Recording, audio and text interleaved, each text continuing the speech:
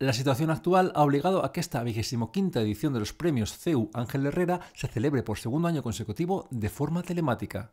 Este año han sido galardonados personajes públicos como el cardiólogo Valentín Fuster o el cantante José Luis Perales y fundaciones como la Fundación Síndrome de Down Madrid. Pues aquí yo veo el futuro en la ciencia, en la salud naturalmente y en la educación.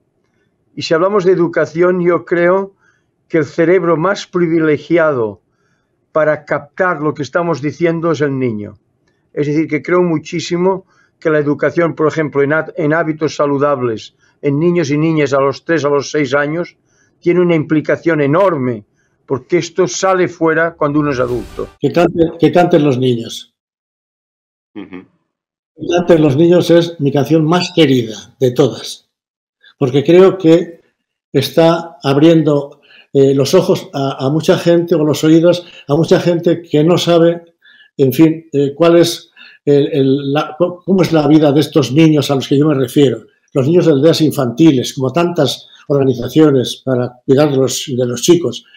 Estos galardones buscan reconocer las diferentes contribuciones que realizan personas, instituciones y empresas a mejorar la sociedad.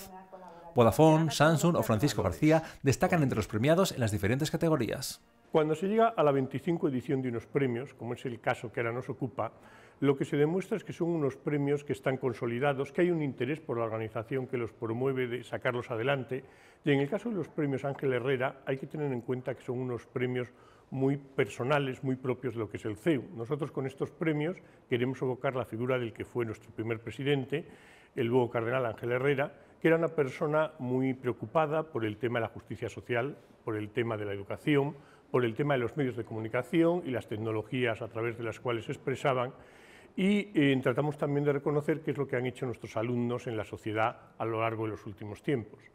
Además, esta vigésimo quinta edición de los premios CEU Ángel Herrera ha galardonado a uno de sus mejores alumnis. Oriol Reul ha sido premiado en la categoría de Alumni Junior por la fundación de la aplicación Too Good To Go contra el desperdicio de comida y por ser cofundador de Roots Mindfulness.